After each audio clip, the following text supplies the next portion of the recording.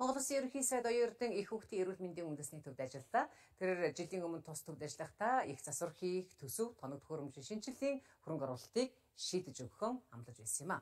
За харин хөрөнгө оруулалт бүрэн шийдэгдэж их засварын ажил одоогоор 60 гаруй хувьтай үргэлжлэж байна. За их хүүхдийн эрүүл мэндийн үндэсний төвд 1987 оноос хойш 35 жил иж бүрэн засвар хийгдэг байсан юм а.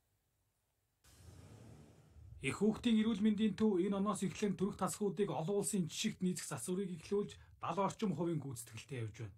2 жилийн хугацаанд тос төв иж бүрэн засвар хийж дуусгахаар төлөвлөжээ. Мөн өрх төглийн болон өр шилжүүлэн суулгах төвийн барилгыг шинээр барьж эхлүүлээд байна. За шугам сүлжээ байл гэж бүрэн. Агааржуулалтын систем, агааржуулалтын систем, цонх. халаалтын систем, цал, цахилгаан, цэцэлгаан гэдэг.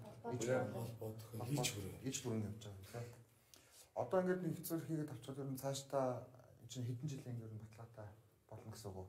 Ер нь 20 30 жилдээ дэжгүй гэсэн үг үү? 10-аас 15 жилдээ дэжгүй гэсэн үг тийм ээ. Ирээсээ энэ сангийн асуудал ялангуяа бүр зэвэрсэн авах юм байна.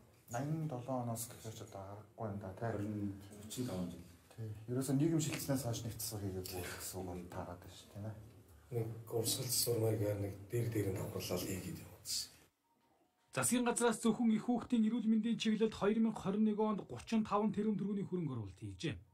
Их хүүхдийн эрүүл мэндийн үндэсний төвд 12.9 тэрбум төгрөгөөр тоног төхөөрөмж хэмжээг шинжилсэн байна. Ингэснээр хөрөнгө оруулалт хийсний үр дүнд Монголд эмчлэгддэггүй байсан хоёр өвчнийг эмчилдэг болжээ. Энэ онд нэмж Монголд хийгддэггүй байсан хоёр төрлийн эс заслыг хийхээр төлөвлөж байгаа юм байна. Дутуу төрсөн яраа хүүхэд одоо сохрох магадлал айгүй өндөр байдаг. За түүнийг одоо эмчилдэг эмчилгээ бол Монгол байдаггүйсэн. Тэгвэл бид нар эрүүл мэндийн яам засгийн газрын хөрөнгө оруулалтаар тэр аппарат томд хөрөмжийг аваад одоо манад эхний 5 хүүхд эмчилгээ хийлгэсэн байна. Амжилттай байгаа. За дараагийнх нь бол ургаас ургац цэсүүлэх хам шинж гэж байдаг. Ихэр жирэмсэн одоо тэгдэж байгаа нэг хург нь одоо ингээд амьдраад явандаа бол хоёулаа одоо амьгүй болох юм ийм эрсдэлтэй байдаг.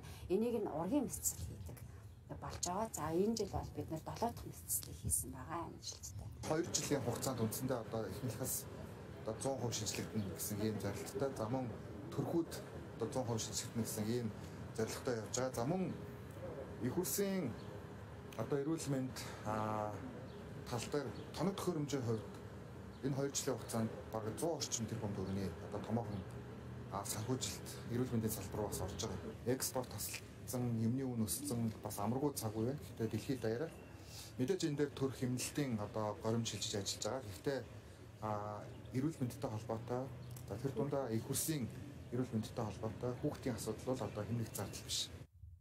Их хүүхдийн эрүүл мэндийн үндэсний төвийн хөрөнгө оруулалтын хүрээнд тоног төхөөрөмжийн шинжилгээс гадна төрөх болон төрсний дараах тасгийн орыг шинжилжээ. Өнөөдрийн байдлаар ихнэрэн эмэгтэйчүүдийн үндэсний төвд 13.6 Их хүүхдийн эрүүл мэндийн үндэсний төвд 12.9 тэрбум, өргөө амаржих газарт 3.6, хүрээ амаржих газарт 3.2 тэрбум төгрөг, амгалан амаржих газарт 1.9 тэрбум төгрөгийн хөрөнгө оруулалтыг хийгээд байна.